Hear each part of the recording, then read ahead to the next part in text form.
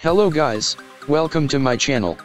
And today, I will be enlightening you about Vevo, which is the largest music hosting service in the world today. You would normally see most music video with Vevo under them, and a whole lot of people don't know what it is, so sit back and relax as I explain Vevo fully to you. Vevo, is an abbreviation for Video Evolution.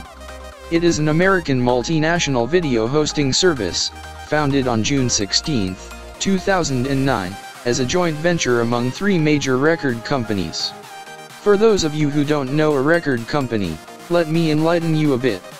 A record company is a brand or trademark associated with the marketing of music recordings and music videos.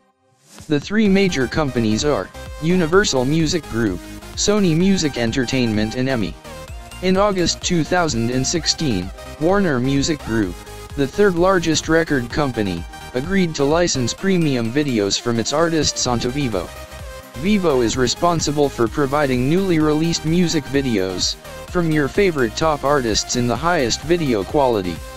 Vevo, only hosts music videos from both Universal Music Group, and Sony Music Entertainment, syndicated on YouTube and its app. The advertising revenue is shared by Google and Vevo. EMI also licensed its library of videos for Vevo, shortly before its launch and its acquisition by UMG in 2012. Originally, Warner Music Group was reported to be considering hosting its content on the service after it launched, but formed an alliance with rival MTV networks. In August 2015, Vevo expressed renewed interest in licensing music from Warner Music Group, and its deal with Warner Music Group was completed on August 2, 2016, making the entirety of the big three record companies' music eligible for licensing to Vevo. Also, Vevo is responsible for providing newly released music videos, from your favorite top artists in the highest video quality. The goal of providing this top quality content from some of the biggest artists, is to attract more high-end advertisers, which is why you usually see Vevo sites or channels, censor their content for language to make it more attractive for bigger advertising partners. Although Vevo content is not available worldwide, it can be accessed by anyone in the United States, Canada, the UK, Ireland, Australia, New Zealand, and many other regions.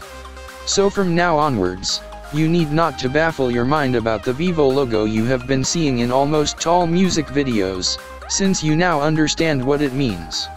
If you like the video and found it helpful, click the thumbs up button and comment, I now understand what Vevo means. You can check out on our other videos too, by clicking the round logo down there. Thank you for watching. Do well to like and leave a comment.